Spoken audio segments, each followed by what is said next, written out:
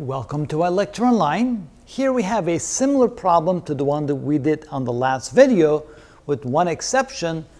The box is not being pulled at a constant speed but allowed to accelerate because the force by which we pull on the box is now large enough to not only drag it up against friction but also to give it some additional acceleration. So how do we calculate the work done to drag the box a distance of 5 meters? Well, notice in order to do that, we are going to calculate the total work done, but we're also going to calculate the work done to give it kinetic energy because it's going to pick up speed, so it's going to gain kinetic energy. We're going to calculate the work done to overcome friction. Those two combined should equal the total work done. And in addition to that, we're going to need to calculate the acceleration and the final velocity in order to be able to do all that. So to make it a little bit easier, we've already put in the expression for the x component of the force and the y component of the force. So 17.32 newtons uh, for the x component, 10 newtons for the y component. And then notice we have a total force of 20 newtons pulling at an angle of 30 degrees. Now, to get the work done, we should only take the x component of the force and multiply times the displacement to get the total work done. So let's do that first. So we can say that the total work done is equal to the x component of the displacement, displacement times the displacement, which is equal to 17.32 newtons multiplied times 5 meters. And let's see here. What's the total of that? That's uh, 17.32 times 5, which is 86.6 joules. So that's the total work done to pull the box to the right a distance of 5 meters. Now, what portion of that work will be used to overcome friction and what portion of the work will be used to overcome kinetic energy, that we'll get in just a moment. So first, let's identify all the forces on the box besides this force right here. We have the force mg pulling down, and we have the normal force pushing back up. Now in this case, the normal force is going to be equal to the weight of the box minus the component f sub y pulling up on the box. So this case, that would be equal to mg, which is the mass, 5 kilograms times 9.8 meters per second square. Subtract from that the 10 newtons, which is equal to 49 newtons minus 10 newtons. And so finally we can say that the normal force is going to be equal to 39 newtons. All right, now we can calculate the friction force. We have a friction force pulling to the left in the opposite direction of motion.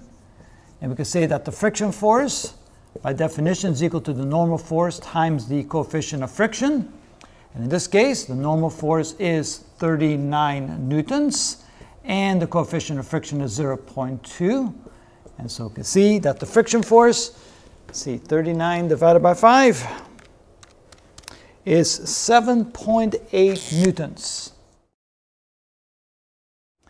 Now we're ready to calculate the work done to overcome the friction because notice that the friction force is pulling to the left and the displacement is pulling to the right. So that means we're going to get negative work done. Or we can simply say the work done to overcome friction is the friction force multiplied times the displacement. The amount of force we have to pull to the right, a portion of f sub x is pulling to the right to overcome the friction force, and so we set that portion equal to the friction force and multiply it times the displacement. So we can say that the work done to overcome friction is therefore equal to the friction force, or a force equivalent to the friction force pulling to the right times the displacement d, which in this case is 7.8 newtons, multiplied times 5 meters. And so that's 5 times 7, that's 35, that's 39 newtons. So we require, oh, newton meters. Newton meters, which is equal to 39 joules. I'm messing up a little bit here. 39 joules. So, of the 86.6 joules of work done by F sub x, 39 joules is used to overcome the friction, and the remainder is the amount of work done to give the block kinetic energy. So now let's subtract the two and see what that would be equal to. So the, the amount of work done to give us kinetic energy would be equal to the total work done, which is 86.6 joules, minus the 39 joules to overcome the friction, so that would be equal to 47.6 joules. Now let's see if we can find that in another way to verify that that's indeed correct. So first we're going to find the acceleration of that block. We know that acceleration A is equal to the net force divided by the total mass. In this case, there's only one object. So the net force equals all the forces aiding the acceleration, which would be F sub x, minus the force opposing that acceleration, which is the friction force. And we divide that by the mass. So here F sub x would be 17.32 newtons minus the force due to friction, which is 7.8 newtons. And we divide all that by 5 kilograms, and that will give us the acceleration of the block. So let's see what that's equal to. 17.32 minus 7.8, and we divide that by 5. That gives an acceleration of 1.904 meters per second square.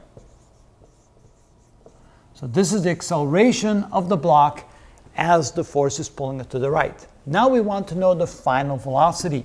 Since we don't know how long it takes for the block to cover 5 meters, we're going to use the third equation of kinematics, which tells us that v final squared equals v initial squared plus 2 times acceleration times the displacement delta x. In this case, the delta x is the distance, and v initial is going to be 0 because the block starts from rest.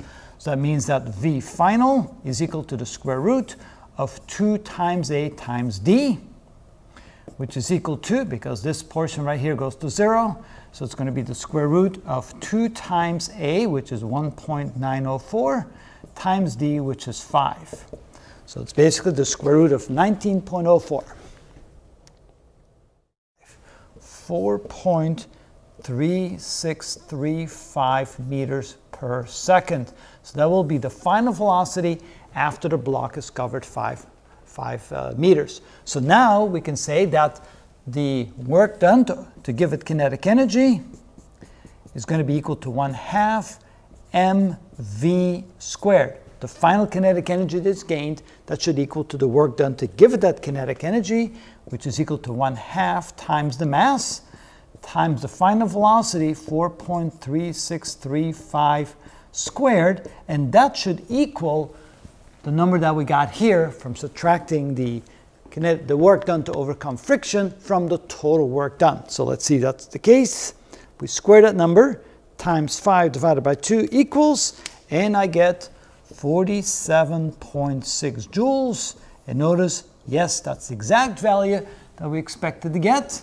And so it looks like we did it correctly. So first of all, we calculated the work done, the total work done by the force. We take the x component of the force because it's in the same direction as displacement.